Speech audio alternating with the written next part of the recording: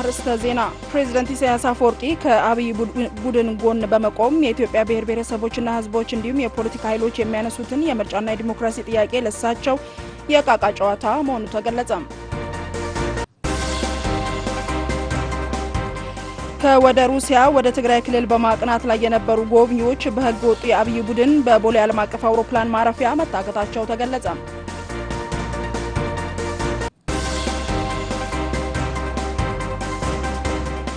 የትግራይ ሰላምና መረጋጋትን ለማስጠበቅ በቁርጠኝነት እንደሚሰሩ የትግራይ ልዩ ኃይል አባላት ተናገሩ።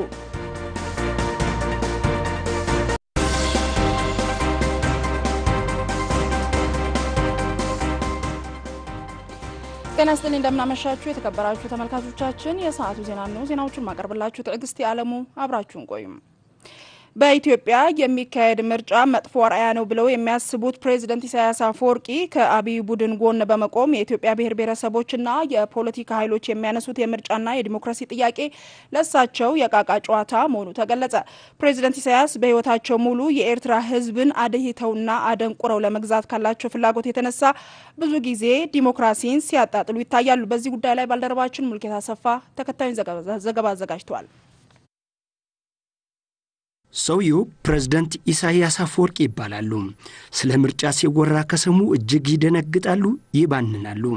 እሳቸው የሚመኙት ጠንካራውን ታታሪውንና ጀግናውን የኤርትራ ሕዝብ በጸረ ዲሞክራሲ አገባብ ለዝንተ ዓለማቸው በንግስና አደንቁሮ መግዛት ነው። በመሆኑም በሕይወታቸው ርዕሰ ጉዳይ የሚጠሉት ነገር የላቸውም። በምርጫ ላይ ያላቸው ጥላቻ እጅግ ከፍተኛ በመሆኑ አንድ ሰው ስለ ምርጫ ከጠየቃቸው ጆሮዎቻቸው መስማት ያቆማሉ።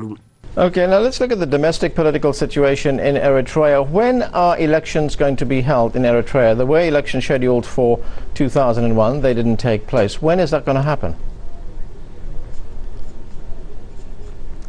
What elections?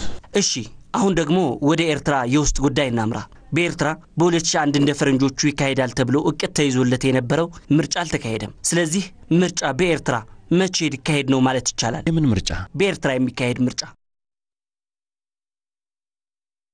በአሜሪካ የሚካሄደው ምርጫ ምን ውጤት እንደሚሰጥ መጀመሪያ እንመለከታለን። ከዚያ በኋላ 30 ወይም 40 ዓመት መጠበቅ ይኖርብናል። በኤርትራ ጤናማ ሁኔታ እስከሚፈጠር መጠበቅ ሳይኖርብን አይቀርም።. እያሉኝ ያሉት ኤርትራ ምርጫ ለማካሄድ 30 ወይም 40 ዓመት መጠበቅ አለባት ነው? ማን ያውቃል? ከዚያ በላይ ብዙ ዓመታት መጠበቅ ሳይኖርብን አይቀርም። ምርጫ በኤርትራ ለዝንተ ዓለሙ ላይካሄድ ይችላል፣ ወይም አስርተ ዓመታት ሊያስፈልገን ይችላል። ሰውየው ቀልድ አያልቅባቸውም። በ2010 ዓ ም የኢትዮ ኤርትራ የእርቀ ሰላም በታወጀበት ወቅት በቤታቸው የለመዱትን አምባገነንና ጸረ ዲሞክራሲ ባህሪ በኢትዮጵያ ላይ ደገሙት። ስለ መልካም ግንኙነት፣ ስለ ብሩህ ተስፋ በማውራት ፋንታ ባላዋቂና ጸያ ሸውዓተን ዓመታት ግዜ ምንዋሕን ክሳራን የወያኔ አገዛዝ ለ27 ዓመታት መራዘም ያስከተለው ኪሳራ እጅግ ከባድ ነው። ጉዳቱ የኢትዮጵያ ሕዝብ ሊቋቋመው ከሚችለው በላይ በመሆኑ ሕዝቡ ገንፍሎ ተነስቶ ይበቃል በማለቱ የወያኔ ነገር አብቅቶ game over ተብሏል። ኢትዮጵያ ደግሞ በሽግግር መድረክ ወይም በለውጥ ሂደት ላይ ነው የምትገኘው። ዓላል አብቂዑ game over ተባሂሉ ሰውየው አይናቸውን በጨው ያጠቡ አይን አውጣናቸውና ብዙም ሳይቆዩ በኢትዮጵያ ምርጫ ይካሄድ የሚሉ የፖለቲካ ኃይሎች ሲበራከቱ በቴሌቪዥን መስኮት ብቅ ብለው የምን ምርጫ የምን ዲሞክራሲ ነው፣ መጀመሪያ በኢትዮጵያ ለ27 ዓመታት የነበረውን ጉዞ አጥበን እንቀይረው ብለው በባለቤትነት በኢትዮጵያ ብሔር ብሔረሰቦችና ሕዝቦች ፋንታ በድፍረት አወሩ። ብመሰረት ናይቲ በአሁኑ ወቅት በኢትዮጵያ ከሚያከራክሩ ርዕሰ ጉዳዮች አንዱ ምርጫ ይካሄዳል ወይስ አይካሄድም የሚለው ነው። በቆየው የኢትዮጵያ የፖለቲካ ባህል መሰረት በ2020 በኢትዮጵያ ምርጫ መካሄድ አለበት ወይስ የለበትም ብለን ለማየት ከሞከርን ይህ ቁም ነገር ያለው ርዕሰ ጉዳይ አይደለም። በምርጫ ጉዳይ የምትለያይ፣ በምርጫ ጉዳይ የምትሰባሰብ ከሆነ በዚህ ርዕሰ ጉዳይ ላይ መንቆራቆስ ከጀመርክ ዋና ርዕሰ ጉዳይ ላይ የማተኮር አቅም ይቀንስብሃል። የጎንየሽ በሆነ ርዕሰ ጉዳይ ላይ ትጠመዳለህ። ይደረግ አይደረግ፣ በጊዜው ይደረግ አይደረግ በሚሉ የመከራከሪያ አላስፈላጊ ነጥቦች ላይ ጊዜህን ታጠፋለህ። የውጭ ህገወጥ ኃይሎች ደግሞ አሉ። መደረግ አለበት፣ ምርጫ ካልተደረገ ይህ ይሆናል የሚል ነገር የሚያመጡ አሉ። ስለዚህ የምርጫ ርዕሰ ጉዳይ በ2020 የተለያዩ የፖለቲካ ኃይሎችን ለውጥረት ስለሚጋብዝ እንዴት መያዝ አለበት የሚለውን ማየት ለየብቻ እየቀረቡ ያሉትን ሀሳቦችስ ምን ሊያስከትሉ ይችላሉ ብለህ ማየት ያስፈልጋል። ጥያድረግ ወይም አለማድረግ አይደለም። ፕሬዝደንት ኢሳያስ በታሪኩ ታታሪ ጠንካራና ሰራተኛ ህዝብ ተፈጥሮ የሚገባት ያድላት አገር ተረክበው ነገር ግን ባለፉት 30 ዓመታት የእሳቸው ምርጫ ድለላ በመሆኑ ህዝቡ እንዳይሠራ አገሪቱም እንዳትለማ ጠፍረው ይዘዋቸው በድህነት አረንቋ እንዲሰቃዩ አድርገዋቸዋል። የኤርትራ ህዝብ በማይመለከተው ከወንድሙ የኢትዮጵያ ህዝብ ጋር ደም አቃቡት። አሁን ደግሞ የኤርትራ ህዝብን ከወንድሙ የትግራይ ህዝብ በማያገባው ጦርነት ውስጥ ለመክተል እንቅልፍ አጥተው እየተሯራጡ ይገኛሉ። ከሁሉም ደላሎች የፕሬዝደንት ኢሳያስ ለየት የሚለው በማግባባት ሳይሆን ስራቸውን በማስፈራራት ለመከወን መባዝናቸው ነው። አብይ ፈርቶ እጁን ሰጥቷል። የኢትዮጵያ ብሔር ብሔረሰቦች በተለይም የትግራይ ህዝብ ፈርቶ እጅ ይሰጣል ብለው ፕሬዝደንት ኢሳያስ አልመው ከሆነ ግን ቃል በምድር ቃል በሰማይ ሊሆን የማይችል ጉዳይ ነው። የኤርትራ ህዝብም በማይመለከተው ገብቶ ልጆቹን ለእርዳ አያቀርብም።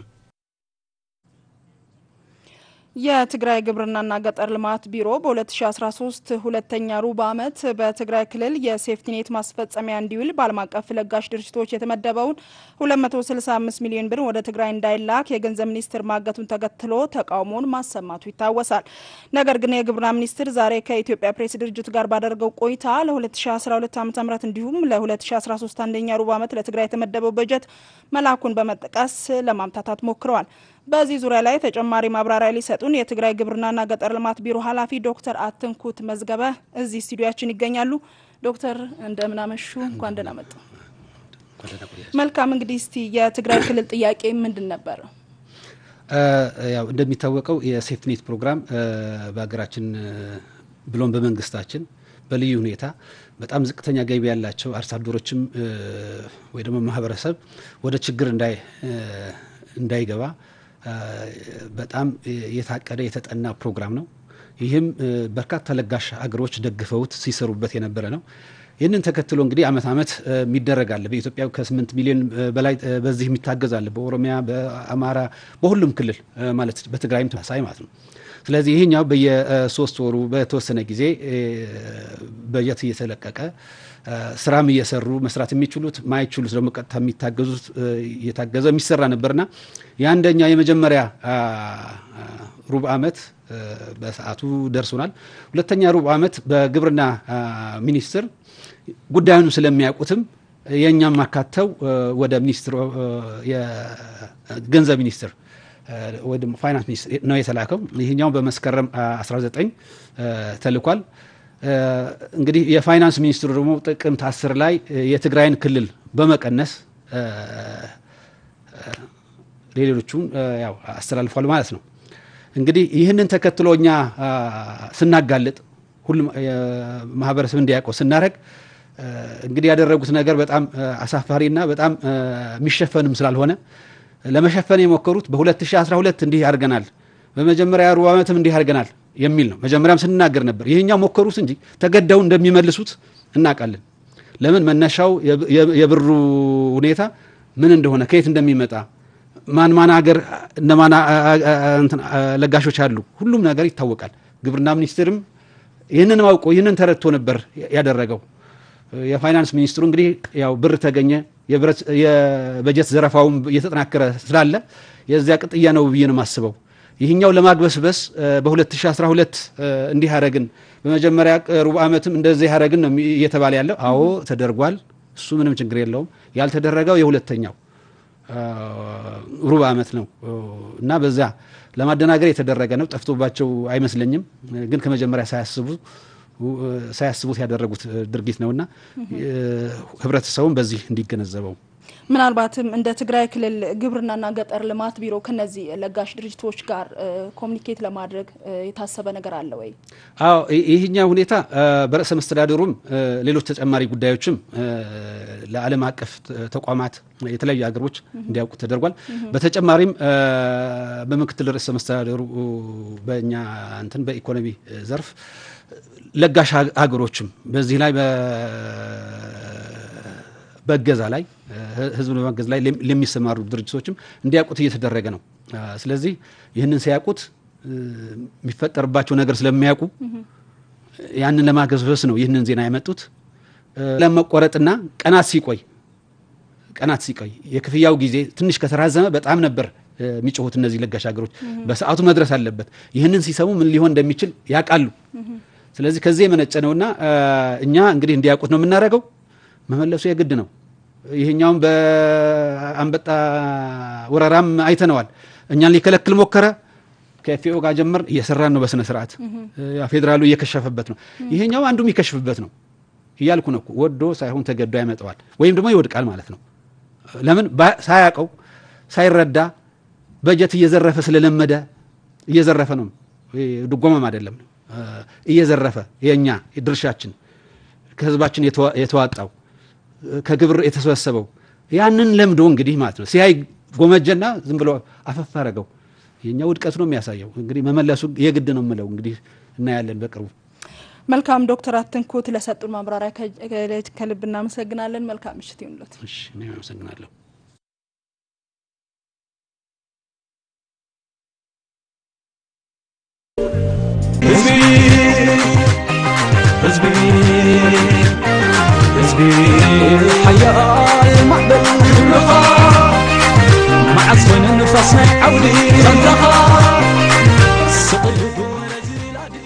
ዜናዎቻችን እንደቀጠሉ ናቸው። አብራችሁን ስላላችሁን ከልብ እናመሰግናለን። ህጋዊ ፍቃድ ያላቸው ከወደ ሩሲያ ወደ ትግራይ ክልል በማቅናት ላይ የነበሩ ጎብኚዎች በህገ ወጡ የአብይ ቡድን በቦሌ ዓለም አቀፍ አውሮፕላን ማረፊያ መታገታቸው ተገለጸ። ጎብኚዎቹ ወደ ትግራይ ክልል ለመሄድ የተለየ ፍቃድ ያስፈልጋቸዋል ተብለው መታገታቸውንም ለማወቅ ተችሏል። ተወልደ ብርሃን ሰለሞን ሁለት የሩሲያ ዜግነት ያላቸው ቱሪስቶች ወደ ትግራይ ክልል ጉብኝት ለማድረግ አስበው ህጋዊ በሆነ መንገድ አዲስ አበባ ዓለም አቀፍ ቦሌ የአየር ማረፊያ እንደደረሱ ወደ ትግራይ ክልል እንዳይበሩ መከልከላቸውን በመቀለ ከተማ የግል አስጎበኝ ማህበር ስራ አስኪያጅ የሆኑት አቶ ክብሮም ነጋሽ ለ DW International ተናግረዋል። ሁለት የራሽያ ዜግነት ያላቸው ቱሪስቶች ህጋዊ በሆነ መንገድ የኢትዮጵያን ቪዛ ይዘው ወደ ትግራይ መምጣት ፈልገው ኤርፖርት አዲስ አበባ ኤርፖርት ላይ እንዳይመጡ ነው የተደረገው ማለት ነው። ምክንያቱ ምን እንደሆነ ለማወቅ ለሚመለከተው አካል ጥያቄ ያቀረቡት ስራ አስኪያጁ ማንኛውም የውጭ ዜጋ ወደ ትግራይ ክልል ለመጓዝ የተለየ ፈቃድ ያስፈልገዋል የሚል ምላሽ እንደተሰጣቸው ገልጸዋል። ምክንያቱ ምንድን ነው ሲባል ያው በህጋዊ መንገድ ነው የመጡት። የሚያስፈልገውን ይዘዋል። ይህ ግን በቂ አይደለም። ከባህልና ቱሪዝም ሚኒስቴር የተለየ ደብዳቤ ካልያዛችሁ መሄድ አትችሉም የሚል መረጃ ነው የሰጣቸው። ይህ መረጃ የሰጠው በፖሊሱ ነው። ኢሚግሬሽን ጠይቀን ነበር። ያው ኢሚግሬሽን እነሱ እንዳላሉ ነው ያለው መረጃ። ለዚህ ነገር ክልከላ ያደረገው ያው ኤርፖርት ውስጥ ያለው ፖሊስ ነው ማለት ነው። እነኚህ በትግራይ ክልል የሚገኙ ታሪካዊ ስፍራዎችን ለመጎብኘት በመምጣት ላይ የነበሩ ጎብኚዎች በህገወጥ መንገድ ለመታገታቸው አምባገነኑና አህዳዊው የአብይ ቡድን ተጠያቂ ነው ብለዋል አቶ ክብሮም። ፌዴራል መንግስት መሆኑ ምንም የሚያጠያይቅ አይደለም። ለምን አዲስ አበባ ኤርፖርት በፌዴራል መንግስት ስለሚተዳደር እዚህ ያለ security ደግሞ የፌዴራል መንግስት መዋቅር ነው። ስለዚህ ያኛው አካል ነው የከለከላቸው። ስለዚህ ሲከለክላቸው ህጋዊ በሆነ መንገድ አለ የሚከለክላቸው ትግራይ ለመመጣት የተለየ ፍቃድ የሚያስፈልግበት ምክንያት ምንድን ነው? የባህልና ቱሪዝም ዘርፍ ከፖለቲካ ጋር እንደማይገናኝ በተደጋጋሚ የተገለጸ ቢሆንም አሁንም ይህ አምባገነናዊና አህዳዊው የአብይ ቡድን ጎብኚዎችን ለእስርና እንግልት እየዳረጋቸው ይገኛል ሲሉ ስራ አስኪያጁ ገልጸዋል። ከሶስት ሳምንት በፊት አካባቢ አክሱም በቱሪዝም ኮሚሽን የተሰጠ ስልጠና ነበረ። የፖለቲካ ጉዳይስ ምንድን ነው? ወደ ትግራይ እንዳይመጡ የሚከለክሉበት ሁኔታ ስላለ ምንድን ነው ዋስትናችን ብለን ጠይቀን ነበረ። እዛን ጊዜ የቱሪዝም ኮሚሽን ዋና ኃላፊ ምንም ችግር የለም፣ በቃ ቱሪዝም ከፖለቲካ ጋር ምንም የሚያገናኘው ነገር የለም፣ ይመጣሉ፣ ጎብኝቶ ይሄዳሉ። እኛም እነኚህ ሰዎችም እንደዛ ናቸው የተዳረጉት። መቀሌ መግባት ነበረባቸው። አሁን አዲስ አበባ ሆቴል ተከራይተዋል። ስራ አስኪያጁ በመጨረሻም ሰላማዊና ህጋዊ ጎብኚዎችን አህዳዊና አምባገነናዊ ቡድኑ እንዲለቃቸው ጠይቀዋል። የትግራይ ሰላምና መረጋጋትን ለማስጠበቅ በቁርጠኝነት እንደሚሰሩ የትግራይ ልዩ ኃይል አባላት ተናገሩ።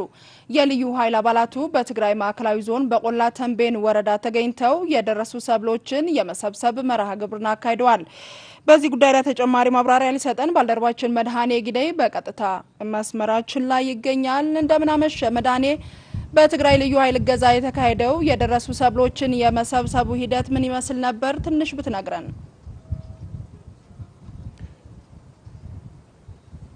በትግራይ ማዕከላዊ ዞን ተገኝተው ነው እንግዲህ በትግራይ ልዩ ኃይል አባላት የሰብል የመሰብሰብ ስራን ያከናወኑት። ትዕግስቲ እንግዲህ በስፋት ነው አሁን አስራ ስድስቱ የአንበጣ መንጋ ወረራን ለመመከት እንግዲህ የተለያዩ እንቅስቃሴዎችን በማድረግ ላይ የሚገኙት እንደሚታወቀው በዚህ በእኛ ባለንበት በትግራይ ማዕከላዊ ዞን የአንበጣ መንጋ ወረራው የተከሰተው ከአንድ ወር ገደማ ጀምሮ ነው ማለት ነው የተከሰተው። ወደ 22 የሚሆኑ ወረዳዎች አሉ በዚህ በትግራይ ማዕከላዊ ዞን 16ቱ የአንበጣ መንጋ ወረራው ታይቶባቸዋል ማለት ነው። አሁን እኛ ባለንበት በዚህ በቆላ ተንቤን ወረዳ ነው በዛሬው ዕለት ልዩ ኃይል አባላቱ ተገኝተው የሰብል የመሰብሰብ ስራን ሲያከናውኑ የነበረው ከዛም በተጨማሪ ገበሬዎችን ሲያግዙ የነበረው ማለት ነው። ከዛ በተጨማሪ ግን የአንበጣ መንጋ ወረራውን የመከላከል በተለያዩ ባህላዊ መንገዶችንም ደግሞ በስፋት በነቂስ እየወጡ ሲንቀሳቀሱ እንደነበረም ለመመልከት ችያለሁኝ። ትዕግስቲ አንዳንዶቹን ለማናገር ሞክሬ ነበረ፣ የልዩ ኃይል አባላቱ ማለት ነው። በዚህ ሰዓት የትግራይ ህዝብ በዚህ በፈታኝ ወቅት ማለት ነው ያሳየው አንድነትና አብሮነቱ እጅግ በጣም የሚያስቀናና የሚያስኮራ ነው። እንኳንስ ተጋሩ ሆንን የሚል ስሜት ነው እንዲያድርብን ያደረገው ብለውኛል። ከዛም በተጨማሪ ደግሞ የትግራይን ህዝብ አንድነት እጅጉን የሚያኮራ ነው ከማለታቸው በተጨማሪ ማለት ነው የትግራይን ህዝብ የትግራይን ሰላምና መረጋጋት ለማስጠበቅ ማንኛውም አይነት መስዋዕትነት ለመክፈል ደግሞ ዝግጁ መሆናቸውን በዛሬው ዕለት ነግረውኛል። ትዕግስቲ በተለይም ደግሞ ከህገወጡ አህዳዊ አምባገነናዊው የአብይ አህመድ ቡድን ዝግጁ መሆናቸውን ነግረውኛል። ባለፉት ሁለት ዓመታት ሰፋፊ ጥቃቶች በትግራይ ህዝብና መንግስት ላይ ሲሰነዘሩ እንደነበር ነው እነዚህ ልዩ ኃይል አባላቱ የነገሩኝ። እዚህ እንግዲህ የመጣ ነው ከመጣን ወደ ሶስት ቀን አካባቢ ያስቆጠረናል። ትዕግስቲ በዚህ በትግራይ ማዕከላዊ ዞን ማለት ነው እንግዲህ ሰፋፊ እንቅስቃሴዎች፣ ሰፋፊ ዘመቻዎች ሲደረጉ ነበረ የአንበጣ መንጋ ወረራውን ለመከላከል የሚያስችሉ ማለት ነው። በሄድንባቸው ቦታዎች እንቅስቃሴውን ለመመልከት ለመቃኘት በሄድንባቸው ስፍራዎች ማለት ነው የዚህ ዞን አስተዳዳሪ የሆኑት አቶ እያሱ ተስፋይ ማለት ነው በሄድንባቸው ሁላ ስናገኛቸው ነበረ። ሰፋፊ እንቅስቃሴዎችን ነው ሲደረጉ የተመለከት ነው ማለት ነው የአንበጣ መንጋ ወረራውን ለመከላከል የሚያስችሉ ይህም ደግሞ ምንድን ነው የሚያሳየው የማህበረሰቡና ወጣቱ እና አመራሩ ምን ያህል በቅንጅት እየሰራ እንደሆነ በተግባር ያየንበት ነው። አሁንም እንግዲህ ዘመቻው መቀጠል እንዳለበት ነው የትግራይ ማዕከላዊ ዞን አቶ ዋና አስተዳዳሪ የሆኑት አቶ እያሱ ተስፋይ የነገሩኝ። በተለይም ደግሞ በዚህ በሀገር ውስጥ በትግራይ የሚገኙ በኢትዮጵያ የሚኖሩ ተጋሩና ከኢትዮጵያ ውጭ የሚኖሩ ተጋሩና የትግራይ ወዳጆች እንግዲህ እያደረጉ ያሉትን ድጋፍ እንዲቀጥሉ አሁንም ጥሪ ቀርበዋል። ከተለያዩ የትግራይ አካባቢዎች እየመጡ በትግራይ ማዕከላዊ ዞን በዘመቻ የአንበጣ መንጋ ወረራውን ለመከላከል የሚደረገው እንቅስቃሴ መቀጠል አለበት የሚል መልእክታቸውን ያስተላለፉት። ከዛም በተጨማሪ ደግሞ መልካም መድኃኔ እንግዲህ ለሰጠን ካለን ጊዜ አንጻር ለሰጠን መረጃ ከልብ እናመሰግናለን። መልካም ምሽት ይሁንልህ። ዜናዎቻችን እንደቀጠሉ ናቸው። በሀገሪቱ ወቅታዊ ሁኔታን አስመልክቶ በትግራይ ብሔራዊ ክልላዊ መንግስት የተሰጠ መግለጫ ትክክለኛና ወቅቱን የጠበቀ ነው ሲሉ ያነጋገርናቸው አስተያየት ሰጪዎች ገለጹ። ህገ ወጥ ቡድን በህገ ወጥ መንገድ ከያዘው ስልጣን እንዲወርድም ሁሉም ብሔር ብሔረሰቦች በአንድነት መታገል አለባቸው ብለዋል። የተወልደ ብርሃን ሰለሞን ዘገባ ይርጋ ተክለ ሚካኤል ያቀርበዋል። የትግራይ ብሔራዊ ክልላዊ መንግስት በሀገሪቱ ወቅታዊ ጉዳይ አስመልክቶ ባለሰባት ነጥቦች ወቅታዊ መግለጫ መስጠቱ የሚታወስ ነው። ይህንን አስመልክተን ያነጋገርናቸው አካላት የትግራይ ብሔራዊ ክልላዊ መንግስት የሰጠው ወቅታዊ መግለጫ ትክክለኛና ጊዜውን የጠበቀ ነው ብለዋል። በተለይም የሀገሪቱ መከላከያ ሰራዊት አስመልክቶ የተሰጠ ቁርጠኛ አቋም ህገወጥ ቡድን የትግራይ ህዝብና መንግስት ለጠላት አሳልፎ ለመስጠት ያሴረውን ሴራ የሚያጋልጥ ነው ሲሉም ገልጸዋል። ትክክለኛና ወቅቱ የጠበቀ ተገቢ ያለው ነው። መከላከያ ደግሞ ዳር ደንበርና ሀገሩ ሉዓላዊነት ማክበር ህገ መንግስቱ ማዕከል አድርጎ የብሔር ብሔረሰብ ተወካይ እስከሆነ ድረስ መከላከያ መውሰድ ያለበት ይሄ ትክክለኛ አካሄድ ነው። የወሰነው መግለጫውም ተገቢ ነው። እንዲያውም እንደ ህወሀት ሆኖ ማንም ብሔር ብሔረሰብ ክልሎች እንዲከተሉ ትክክለኛ ብለን ነው እኛ የምናምነው ማለት ነው። ያው ጊዜው የጠበቀ መግለጫ ነው። የኢትዮጵያ መከላከያ ሰራዊት ያው ህዝባዊ ድርጅት ነው። ስለዚህ ህዝባዊ ድርጅትነቱን ይዞ አጠናክሮ ያን መዋቅር ተከትሎ መሄድ አለበት የሚል አስተያየት አለኝ። ህገወጥ ቡድን ከመስከረም 25 ጀምሮ ስልጣኑ እንዳበቃ የተናገሩት አስተያየት ሰጪዎቹ መከላከያ ሰራዊት የህዝብ እንደመሆኑ መጠን በህገወጡ ቡድን የሚታዘዝ ሳይሆን በህገ መንግስቱ መሰረት ሀገሪቱን ተረክቦ በህጋዊ መንገድ የተመረጠ መንግስት እስኪመጣ ድረስ ሊያሸጋግራት ይገባል ብለዋል። ከመስከረም 25 በኋላ መከላከያ ማዘዝ አይችልም፣ አባይም ደግሞ መሸጥም አይችልም፣ ኢትዮጵያ ራሱ መምራት አይችልም። ለምን? ይህ ሰውዬ የመረጠው ፓርቲ የለም፣ የመረጠው አካል የለም። መስከረም ከ25 በኋላ መከላከያ እንደ ሱዳን መቆጣጠር ያለበት ስልጣን የሱ ነው። የኢትዮጵያ መከላከያ ሰራዊት ማለት የህዝብ ሰራዊት ነው፣ የመንግስት ሰራዊትም አይደለም። ስለዚህ መንግስት በሌለበትም መንግስት ሊያዘው አይችልም። በራሱ መንገድ መሄድ አለበት። በራሱ መንገድ መሄድ የሚሄድ ከሆነም የግድ የህዝቡን ልብ ትርታ ማዳመጥና የሀገሪቷን ነባራዊ ሁኔታ አይቶ የሆነ እርምጃ መውሰድ አለበት። በመጨረሻም አምባገነኑና አህዳዊው የአብይ አህመድ ቡድን በኢትዮጵያ ህዝቦች ላይ እየፈጸሙ ባለው ታሪክ ይቅር የማይለው በደል በታሪክና በህግ ተጠያቂ እንደሚሆን አስተያየት ሰጪዎቹ ያመላከቱ ሲሆን ይህ ቡድን በኃይል ከያዘው ህገወጥ ስልጣን እንዲወገድ ሁሉም ብሔር ብሔረሰቦች አቅማቸውን አስተባብረው ጥቃታቸውን ማጠናከር አለባቸው ሲሉም መልእክታቸውን አስተላልፈዋል። የኢትዮጵያ መንግስት አልባ በሆነችበትና የዜጎች ደህንነት አደጋ ላይ በወደቀበት ሁኔታ የትግራይ ክልል ተማሪዎች ወደ ሌሎች አካባቢዎች መላክ እንደሌለባቸው ውድብ ናጽነት ትግራይ አስታወቀ። የትግራይ ብሔራዊ ክልላዊ መንግስት ያወጣውን መግለጫ እንደሚደግፍም ፓርቲው ለጋዜጠኞች በሰጠው መግለጫ ላይ አስታውቋል። መግለጫውን የተከታተለችው ባልደረባችን ክብርት ያህላይ ላይ ተጨማሪ አላት።